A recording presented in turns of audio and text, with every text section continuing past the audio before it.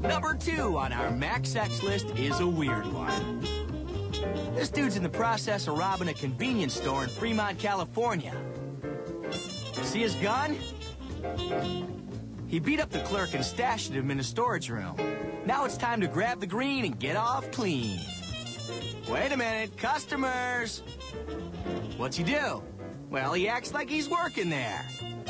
As the folks go about browsing, he punches at the register keys, trying to get it open. It opens, but he's got himself another customer. Now the place is filling up and he's in the weeds. He acts pretty darn calm about things.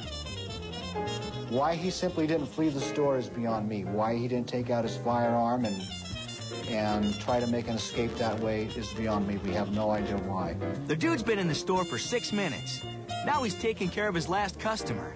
Suddenly, the real clerk comes stumbling out. The customer checks him out, but don't do nothing. The robber just keeps doing his clerk thing. Finally, it's all clear.